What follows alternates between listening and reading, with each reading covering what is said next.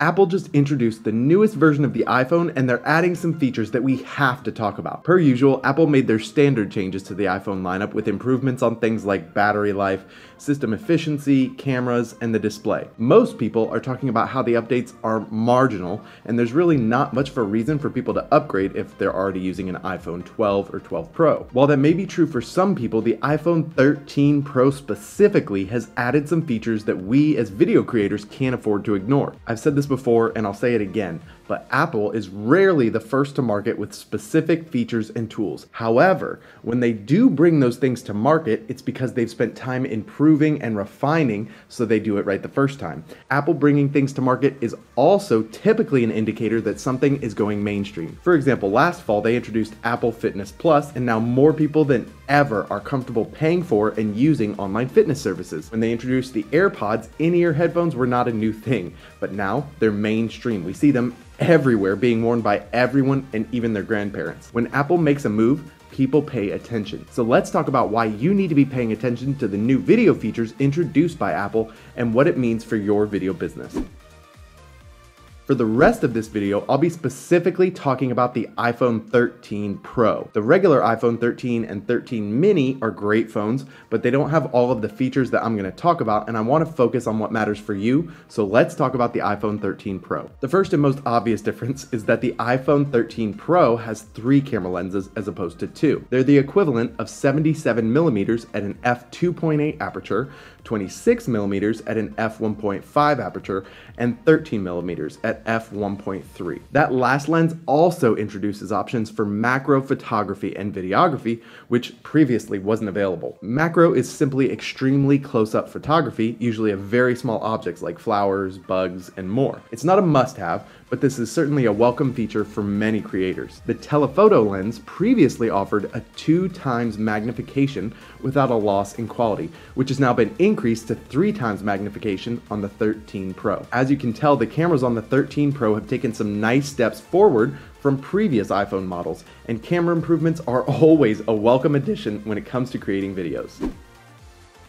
In their keynote, Apple introduced a new video mode called Cinematic. Cinematic video mode allows you to shoot video in a way that replicates an effect called rack focus. Rack focus is a filmmaking technique where you change the focus of the lens during a continuous shot. When a shot racks, it moves the focus from one object in the frame to another. This is also sometimes called focus pulling. Cinematic mode aims to allow you to easily rack focus on your iPhone, but of course Apple takes this one step further. In cinematic mode, Apple actually builds a depth map into the video file, which allows you to change the focus point after the fact. So you can shoot a clip stop filming, and then change the amount of blur and the focal point of the entire clip. This is absolutely wild, and I'll be super interested to see how creators leverage this tool in the days to come. Now, there's one more feature available on the iPhone 13 Pro that you need to know about, and that is ProRes. ProRes is a high quality video compression format developed by Apple, and it's essentially an industry standard at this point. It's widely used as the final delivery format for commercials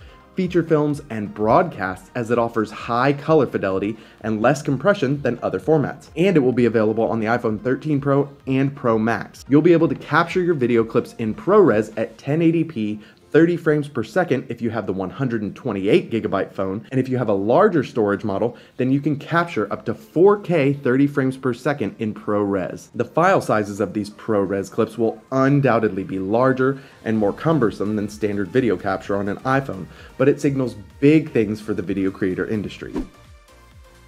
Like I said earlier, when Apple makes a move and brings something to market, it usually signals a change. With the explosion of the creator economy in the last year and a half, Apple is clearly making moves to cater to creators who have always made up a large portion of their fan base. Bringing tools to market like cinematic mode and the introduction of ProRes on the iPhone is another step in the right direction for bringing features that matter to the devices that we use on a daily basis as creators. If these tools are coming to the iPhone, you can be sure that in another year, the same features and specs will be available in a number of other popular smartphones. More than anything, this means that there is less and less justification for spending thousands of dollars on higher end gear when these robust tools are available in your pocket. For just over a thousand dollars, you can have all of the tools you need in one single device. Not to mention, most people aren't shelling out that lump sum of 1,000 to $1,500 all at once. They're financing that over the duration of two years on their cell phone bill. It's much more affordable and reasonable to add $50 a month to your cell phone bill rather than spending $2,000 on a mirrorless camera,